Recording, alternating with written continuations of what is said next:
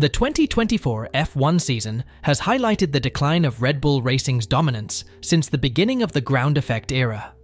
With seven different race winners so far, six have come from teams other than Red Bull. Despite the RB20's formidable performance, Perez has yet to join the ranks of winners, a list that already includes drivers from Ferrari, Mercedes, and McLaren. The Milton Keynes based team fast tracked a major revision to the side pods and engine cover last weekend in Hungary, ditching its characteristic Mercedes style gullies. The new direction was about maximizing downforce because, although it is less efficient aerodynamically, that compromise did not matter at a tight and twisty track like the Hungaroring.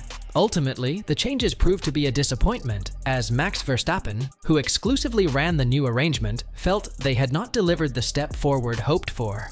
The lack of progress has triggered some concern from that Red Bull could find itself on the back foot against the increasingly strong McLaren team, now widely acknowledged to have the fastest car in F1.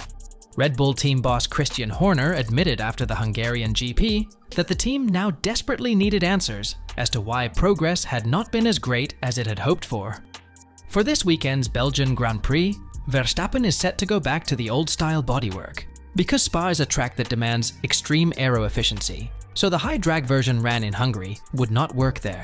Red Bull, in effect, has taken track specific car changes, which in the past mainly just involved front and rear wing levels, to now include wide scale bodywork tweaks. The team took more of a radical approach than many expected with its RB20 after dominating the last two seasons. It obviously knew that it was only a matter of time before rivals got on top of the issues that had proved problematic in the ground effect era. Verstappen is expected to receive yet another setback in the shape of a 10-place grid penalty for this weekend's Grand Prix. After experiencing some woes with his power units this season, his engine allowance exceedance is anticipated, seeing a less than ideal starting position for the race.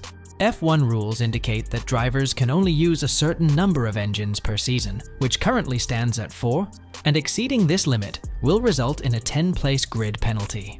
Verstappen's car lost a power unit back in June's Canadian Grand Prix despite branding a fresh third engine, forcing Red Bull to use his fourth and final engine for the Spanish Grand Prix.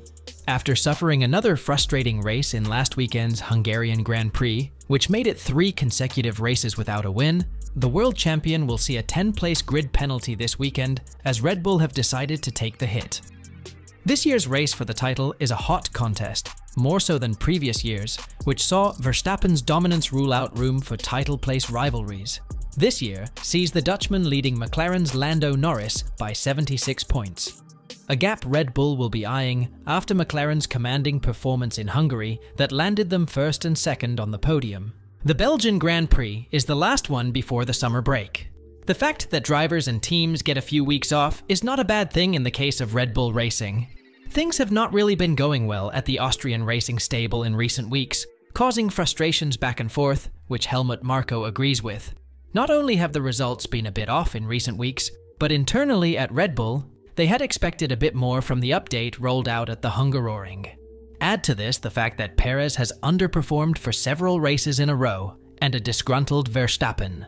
Verstappen's dissatisfaction does not just stem from the fact that he was on a poor strategy in Hungary, or that the biggest update so far did not save as much time as hoped. Even before the weekend in Budapest, the three-time world champion expressed that some people need to wake up. I think McLaren looked very strong in the long run. Of course, they have been for the last few races, I don't suddenly see us being stronger there either. At least with me, they know I don't make excuses. I am always realistic about that.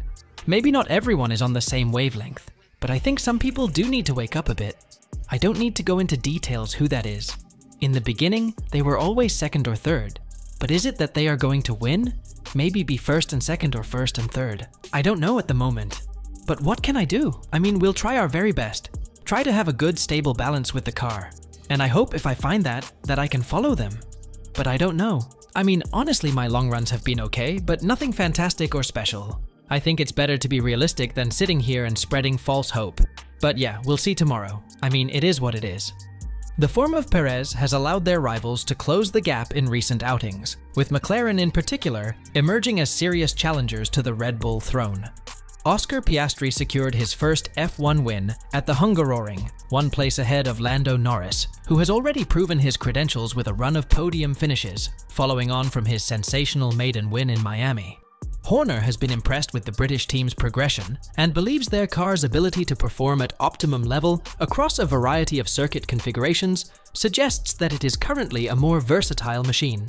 I think their car is in a better window than ours at the moment. It's perhaps easier or a broader window. Our window seems to be very peaky, and that's what's making it difficult for the engineers, difficult for the drivers. I think we have to take the balance of the car and make that window broader, as it's so critical on temperature and all the relevant factors.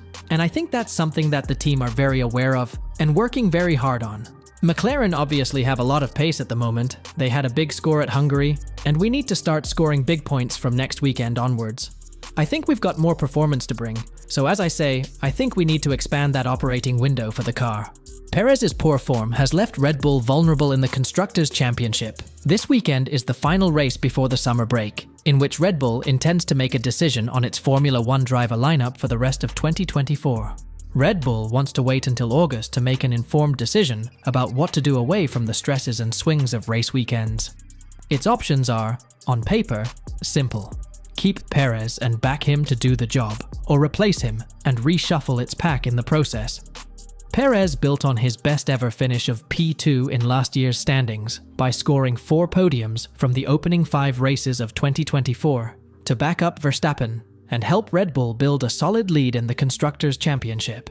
However, his performances have nosedived since then, including a disastrous turn of events in qualifying with four Q1 exits at the last six Grands Prix. The Mexican crashing out of proceedings in Hungary last weekend. Before that incident, Red Bull technical director Waché was asked about Perez's struggles and what he feels are the factors behind them, to which he replied, If I knew, I would fix it. It's difficult to say, I think it's partly us for sure, and it's what we have to do to try to help him to extract the potential of the car. I have some feedback from him. We have some feedback, we try to help him. The point is not only reflecting to how he feels in the car. Sometimes he's unlucky, you know? It's what happened in some quali sessions that could affect the overall result of the race. I think we are trying to understand what he suffers with, or with the characteristic and balance that could help him. When we understand that, and that is quite difficult to be honest. How we transform that in terms of setup, or in terms of car characteristic development. Perez sits 7th in the driver's standings after 13 of 24 scheduled races this season, 141 points behind Verstappen, with the McLaren drivers, Ferrari pair, and Mercedes man Lewis Hamilton sitting between them. So, do you think Red Bull will be able to turn things around in Belgium this weekend? Let us know your thoughts in the comments down below, and make sure to subscribe to our channel for the latest F1 news.